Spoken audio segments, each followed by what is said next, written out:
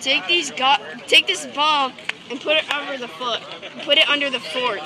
Why don't, goggles, I mean, bombs look like goggles? So so no one will get suspicious. Now take it.